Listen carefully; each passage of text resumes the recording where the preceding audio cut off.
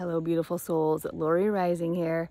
Let's talk the aftermath of the peak of the Uranus, Mars, and North Node conjunction in Taurus that went down yesterday, but the, the big energies were July 31st and August 1st. So, first of all, take a deep breath.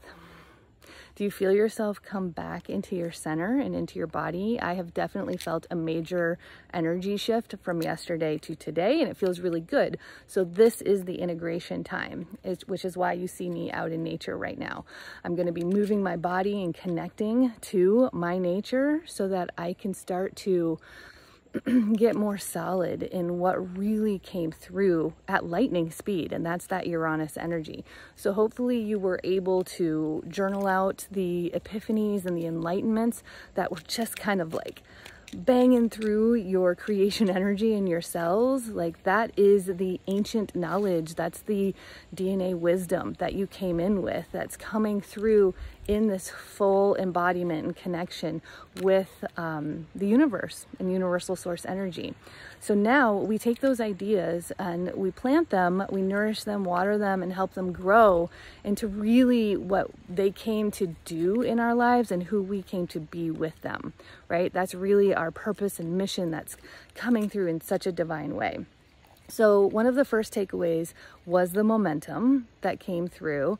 And in that momentum, I felt a shift in the collective, like um, a new confidence in your medicine, in what you came to share. Now, that's whether you get paid for it or not, this is your your ability as an innate healer, which every single one of us as a human have this capacity because that's what we came to be, which is innate healers for all of us. We are all the student and teacher for each other. And so we're sharing our medicine to elevate the collective, and it's the medicine that we know deeply in ourselves that we came in with. Now, the second takeaway is um, I felt, and this is the Taurus energy. So I felt these beautiful epiphanies about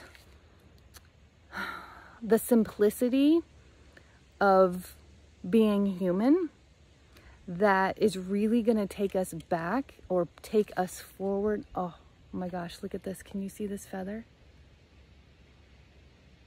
Just floating down in the air. See, right there. That's a message. So pay attention all the time, especially with nature right now. They are nature's popping off in messages. Again, that's the Taurus energy. And so it's like the simplicity of how we came to live takes us so much higher into the love frequency, into our connection, into like the collective energy of what we're meant to do and be here together, which has been drastically altered um, by various systems that have popped up in our world that have isolated us, right? That have created this space of um, going it alone and being in competition. And this energy is about reconnecting with with our nature, with nature, with the cosmos, with each other from a place of sovereignty and agency, from our innate medicine and our inner healer. So as you grow in that like I see it as this pillar of light, right? With with the trees as you grow these um, seeds that are now being planted from this change. Like we are changed. We have changed deeply on a multidimensional level if you've been tapping in. But as you grow them, you are going to get so much stronger in your connections from the full power of who you are. Like, no holds barred. You know what I mean? Like, that is what you are all coming into, and I can feel it happening in strength, in confidence, and I feel you all like sharing it in new ways. So, however, this feels good and resonant for you right now, integrate. Let yourself be soft and gentle and be in those alignment spaces where these messages can grow and flourish from the seeds that have been planted in this historical time.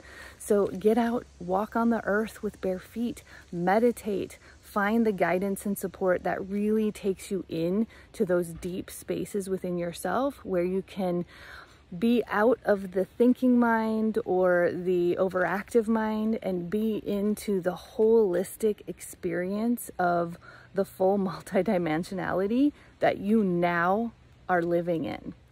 And make it a daily practice because it's only going to take you deeper in every single area of your life. And it's only going to give you more confidence in this full, beautiful channel that we came here to live. So let me know how I can help. I have all kinds of digital courses, meditations, personal readings, retreats, ways that I can support you because I am your biggest cheerleader in your divinity, your majesty, and your ability to fully feel and live in this multidimensional reality that is now very accessible in our physicality. So until then, don't forget to watch for the messages and always look up.